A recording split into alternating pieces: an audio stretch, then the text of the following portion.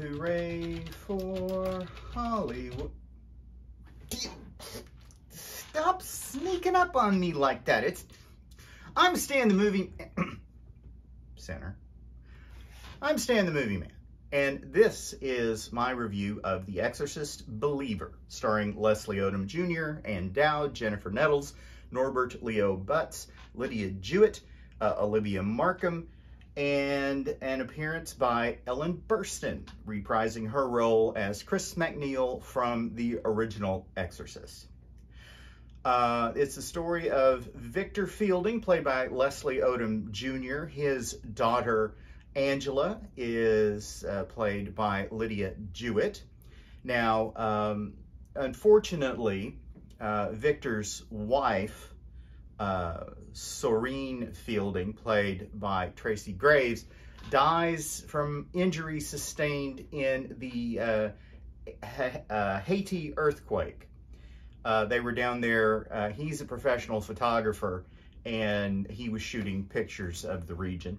And uh, she she is very pregnant um, and is fatally injured in that earthquake. Uh, but they are able to save Angela, um, who uh, is now 13 years old.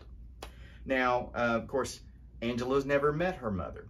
Uh, so she is looking for connection by going through her old stuff, looking at pictures, uh, grabbing a scarf that her mom wore in one of the pictures, and is trying to connect with her by uh, doing a ritual in the woods with her friend Catherine, who is played by Olivia Marcum.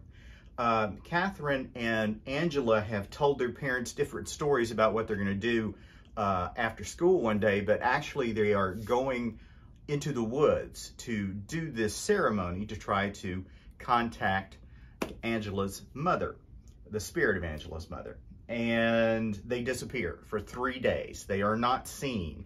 Uh, the uh, police are uh, searching for them and uh, they are trying to uh, figure out why the girls have disappeared. They suggest that perhaps um, the the girls have some hidden secrets, which is making Victor very angry, along with um, Miranda and Tony, Catherine's parents, played by Jennifer Nettles and uh, Norbert Leo Butz, and the uh, they just they don't know where to find them. However, 30 miles away, three days later, they show up in a barn at a farm. The girls are brought in.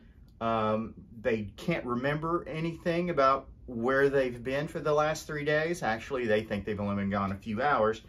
But the girls are different in some way. There, there doesn't appear to be any serious physical injury other than some scratches. And uh, fortunately, they have um, not been uh, assaulted in any other way. Uh, one of the people who works uh, at the hospital is Paula, played by Ann Dowd. She also happens to be a neighbor of Victor's. And um, she is helping to take care of the girls, but the girls are giving off a creepy vibe. And at one point, uh, uh, after uh, Angela is brought home by Victor, she assaults him with the scarf. She uh, wraps it around his head and slings him into a, a bed frame. Uh, and the other girl is also showing uh, bizarre signs. And over time, they become more and more um, damaged their their bodies are breaking down. They're they're getting blisters on their feet for no apparent reason. Their their fingernails are coming off, fingers and toenails, and uh, uh, while uh, none of the families know what's going on exactly, Paula, the nurse, is familiar with a similar case. Uh, in that similar case, a young girl was possessed by a demon and was saved via exorcism. That, of course, was Regan back in the original Exorcist movie, and her mother, Chris MacNeil, played by Ellen Burstyn, uh, has written a book about it. Uh, Paula gives Victor, who is a non-believer, uh, in religion and God and such, uh, the book, and uh, suggests that maybe this is the answer to their problems. Victor goes and finds um, Chris, and she is living in uh, what appears to be a beach community, either um, in Florida or someplace like that. And um, he is able to talk her into coming with him to see her daughter uh, to try to figure out if if she can offer any assistance of any kind. And uh, the girls know who Regan is, so this is definitely a demonic possession. And the parents bring in all sorts of faiths, their own, uh, from the Pentecostal uh, to the uh, uh Catholic to even uh, the um, beliefs of the island, uh, what we white folks refer to as voodoo. Um, they, they bring in practitioners of all these different things in an effort to try and free these girls of a demon. The movie's not gotten great reviews, and it is certainly no successor to the original Exorcist. However, uh, the the whole uh, story of these two young girls being overtaken by demons and the the the fact that their parents are fighting against something they cannot possibly understand one of whom doesn't even believe in god um, and, and they are they are trying everything uh, they are desperate to save their daughters and uh, I especially enjoyed the performance of Leslie Odom Jr as Victor.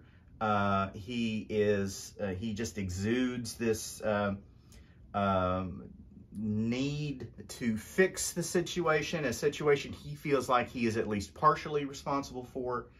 Um, and you figure all, you get all that uh, during the film. Uh, and then you also have the uh, parents of Catherine, um, who are rather more rigid in their beliefs. And um, there seems to be, at least in my interpretation of what I saw, an undercurrent of perhaps racism in how they interact with Victor, who is black, and his black daughter.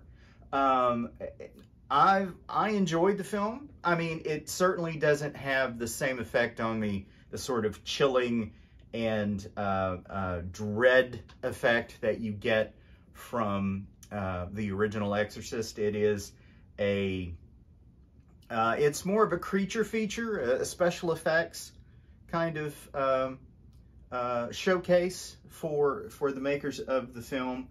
Uh, the same folks made this that also made the Halloween remakes, the most recent ones.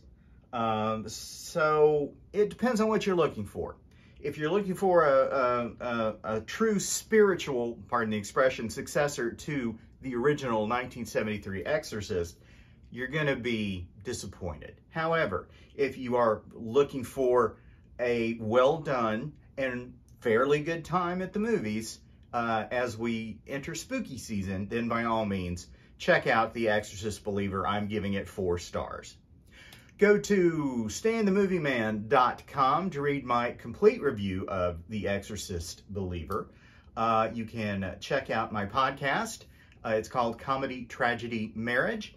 You can uh, check that out each week on the podcast platform of your choice. Uh, we are in spooky season on that as well, so we're talking about strictly uh, haunted horror, uh, uh, supernatural thriller kind of movies. And there's a theme to this year's uh, spooky season, so check that out at wherever you get your podcasts. Follow me on Twitter or that thing that used to be known as Twitter. Uh, I am there at Stan at, at Movie Man Stan. You can follow the podcast at CT Marriage. You can follow uh, me also on uh, Threads, Spoutible, and Bluesky.